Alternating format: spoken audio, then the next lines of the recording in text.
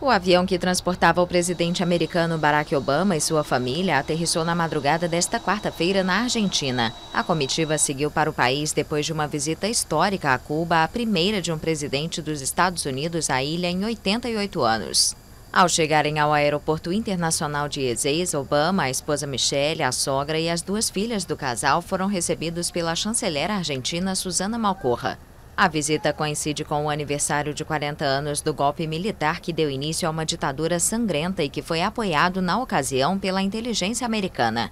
A viagem também deve marcar o apoio de Obama às mudanças feitas pelo governo de Maurício Macri. Após os ataques ocorridos na Bélgica, o governo argentino informou que a segurança em torno do presidente americano será reforçada. Nesta terça-feira, os ataques extremistas no aeroporto e no metrô de Bruxelas deixaram pelo menos 34 mortos e mais de 200 feridos.